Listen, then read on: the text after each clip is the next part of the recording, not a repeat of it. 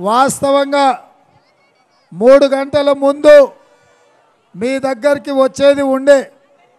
కానీ ప్రభుత్వం కుట్ర చేసి నా హెలికాప్టర్ రాకుండా అడ్డుకుంటే పెద్దలు షబ్బీర్ అలీ గారి మీద ఉండే నమ్మకంతో విశ్వాసంతో ఇంత రాత్రి అయినా మీరు ఎదురు చూస్తున్నారని తెలిసి రోడ్డు పట్టుకొని రోడ్డు మీదనే కారును విమానం తోలినట్టు దోలుకుంటా ఇవాళ ఈ బిక్నూరు చౌరస్తాకు వచ్చిన. బిక్నూరు నాకు కొత్త కాదు. ఆ ఎట్లా మీ వడ్ల కుప్పలు రోడ్డు మీద పోసి వానల దడిసి కొనవంటే కొనేటోడు లేక ఐకేపీయోడు కాంట పెట్టక సర్కారుని అడిగితే మీరు ఒరేసుకుంటే ఉరేసుకున్నట్టే నా జిమ్మెదారి లేదని మందేసి ఫామ్ హౌస్లో ముఖ్యమంత్రి వండుకుంటే వంగబెట్టి నాలుగు గుద్దనికే ఈ పిక్నూర్కు నేను వచ్చి తడిసిపోయిన మీ ఓట్లు చూసి కళ్ళాల్లోకి కాంగ్రెస్ అనే కార్యక్రమం తీసుకొని ఇక్కడ రైతులకు అండగా నిలబడడానికి వచ్చిన ఆయన మా ఇంద్రకరణ్ మా చంద్రకాంత్ అందరు కలిసి అన్ని ఊర్లు తిప్పి మొత్తం అంతా నాకు చూపించి ఇక్కడ రైతుల కష్టాలు ఎట్లా ఎదుర్కొంటున్నారో నాకు చూపించిండు.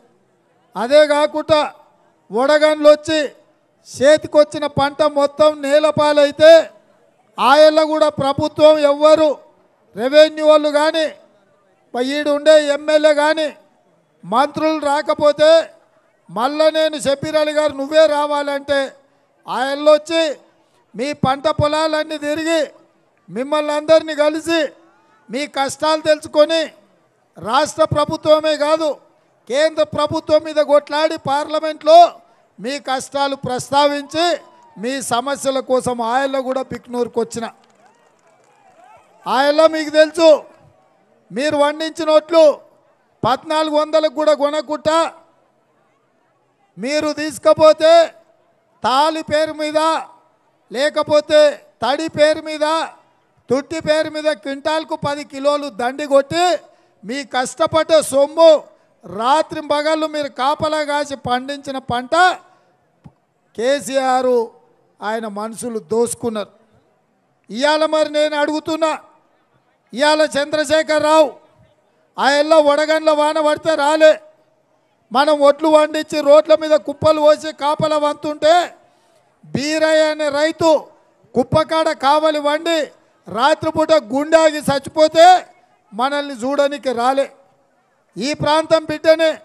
లింబయ్య అనేటైన భూమి రెండు ఎకరాలు ఆయనది ఉండి ఇంకో మూడు ఎకరాలు గుత్తగా తీసుకొని ఐదు ఎకరాలు పంట పండిస్తే పంట నష్టపోయి మూడు లక్షలు అప్పు అయితే ఊర్లో అప్పు కట్టలేక ఏమి చేయాలో దిక్కుదోసక పట్నం వచ్చి వాచ్మెన్ డ్యూటీ చేసి సంపాదించి కట్టుకుందాం అనుకున్నాడు.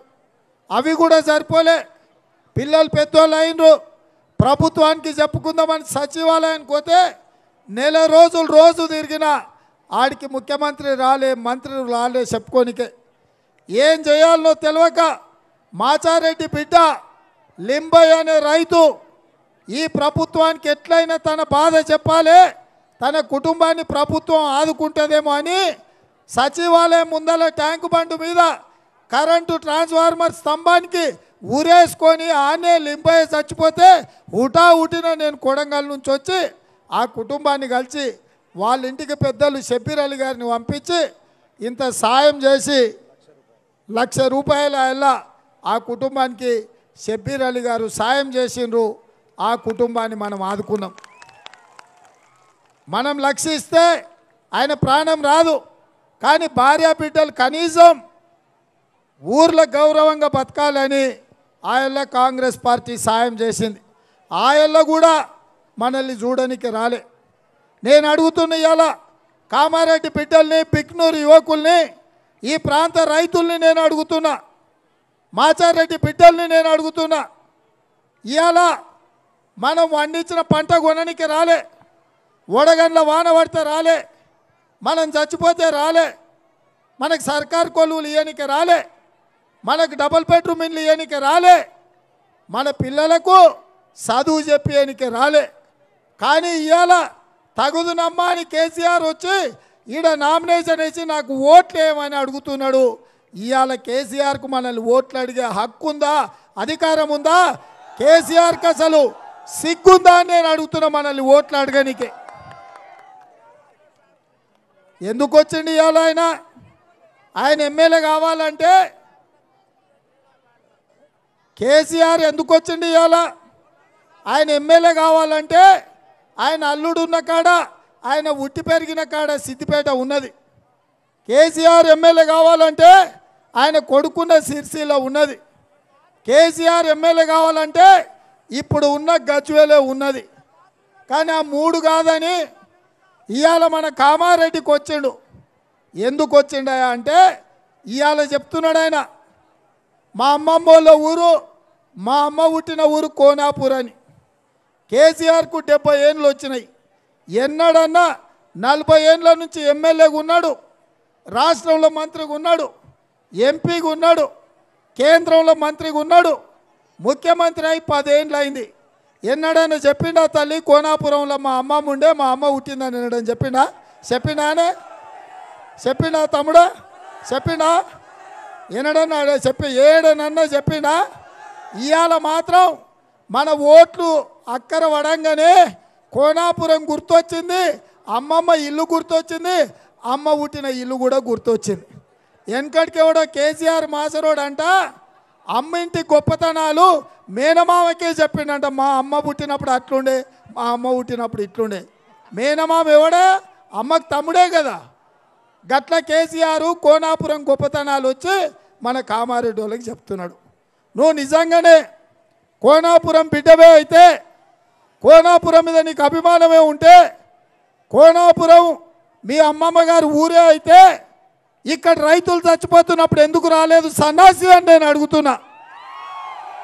ఇక్కడ మా ఒట్లు కుప్పలు పోసి కొనేటో లేక కాంట వేయకపోతే కుప్పల మీద వండి గుండెలాగి మా రైతులు చచ్చిపోతుంటే మా దగ్గరికి ఎందుకు రాలేదని నేను అడుగుతున్నా. అందుకే ఇవాళ కేసీఆర్ వచ్చిండంటే ఉత్తగా రాలే. గజ్వేల్ మొత్తం ఊడ్చేసిర్రు. ఆయన వెయ్యి ఎకరాలు ఆయన సుట్టపోళ్ళు గజ్వేల్ ఉన్న పేదోళ్ళ భూములన్నీ ఊర్ల కూర్లు వేల ఎకరాలు అవన్నీ గుంజుకున్నారు. వాళ్ళ సుట్టపోళ్ళు కబ్జా పెట్టుకున్నారు. ఇక ఇవాళ గజ్వేల్లో ఏం మిగలలే. అల్లుడు సిద్దిపేటను పొరకాట పెట్టి ఊడ్చినట్టే ఊడ్చిండు.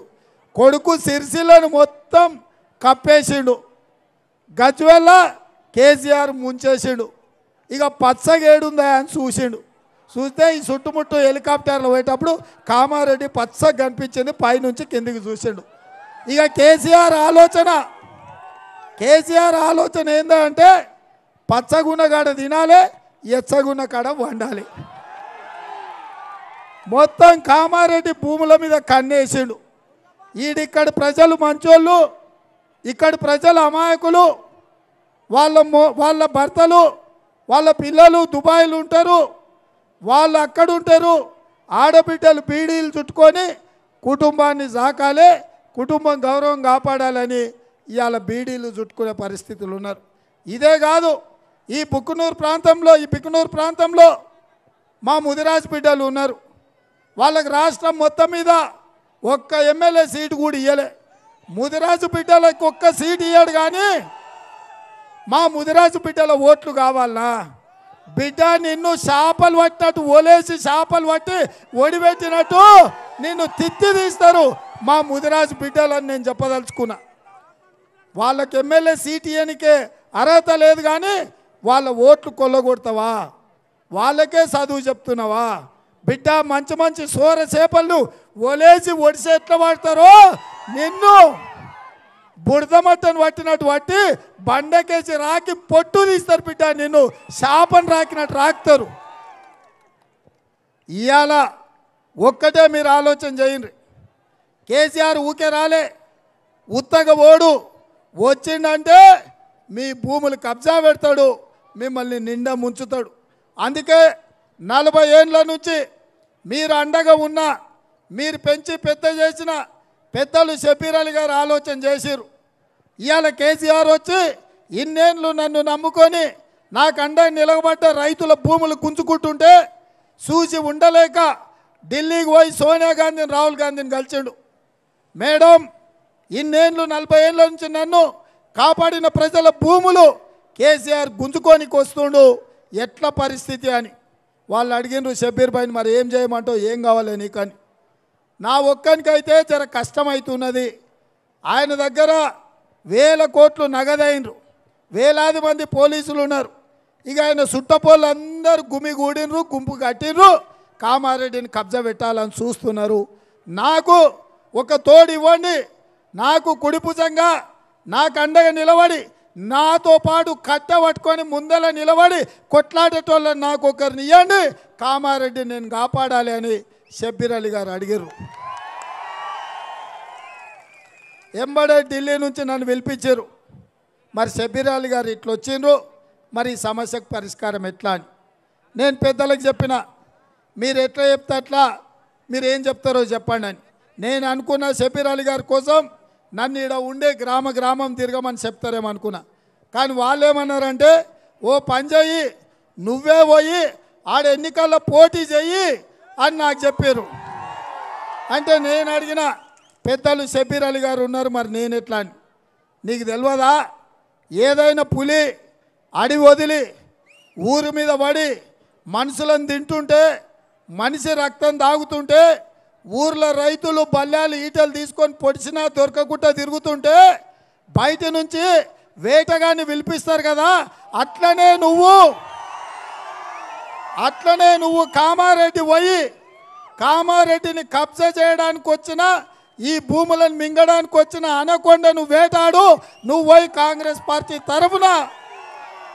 కామారెడ్డిలో పోటీ చేయమని చెప్పారు నేను వచ్చి నామినేషన్ వేసిన. నామినేషన్ వేసినాక కేసీఆర్ కేసీఆర్ కొడుకు పిచ్చిలేసింది. పిచ్చిలేసి ఇవాళ జనగామల చేర్యాలలో కేసీఆర్ మాట్లాడుతున్నాడు. మీరు ఎవరైనా పిల్లలు ఇనే ఉంటారు చూసి ఉంటారు లేకపోతే సోషల్ మీడియాలో. రేవంత్ రెడ్డి ఓ పిచ్చి కుక్క ఆ పిచ్చి కుక్క వచ్చింది జనగామల రాజేశ్వర రెడ్డిని తిట్టింది నన్ను కూడా తిట్టిండని. కేసీఆర్ గారు పిచ్చి కుక్క నన్ను అన్నావు మంచిది ప్రజలు నిర్ణయిస్తారు. కానీ తెలంగాణ ఉద్యమంలో నువ్వేం మాట్లాడినావు? ఈ తెలంగాణ రాష్ట్రాన్ని సాధించి ఈ తెలంగాణకు దళితుడిని ముఖ్యమంత్రి చేస్తా నేను కాపలా కుక్కలాగా ఉంటాను. మరి పదేళ్ళైనా దళితుడిని ముఖ్యమంత్రి చేయలే. ఆయన ఇంకో మాట కూడా చెప్పిండు. దళిని దళితుని ముఖ్యమంత్రి చేయకపోతే నా తలకాయ నరుక్కుంటా అని మాట ఇచ్చిండు. ఇవాళ నేను అడుగుతున్నా పదేళ్ళు అయింది దళితుడిని చేయలే. దరిద్రుడివి నువ్వే ముఖ్యమంత్రిగా ఉన్నావు. మూడోసారి గెలిస్తే నీ కొడుకుని ముఖ్యమంత్రి చేస్తా అంటున్నావు. దళితులకు ఇచ్చిన మాట మోసం చేసినావు. ఇవాళ నన్ను పిచ్చి కుక్క అంటున్నావు. ఇవాళ కేటీఆర్ను చూడండి. వాడు పిచ్చి కుక్క కనిపించిన నల్లగా అరుస్తున్నాడు కొడుకు.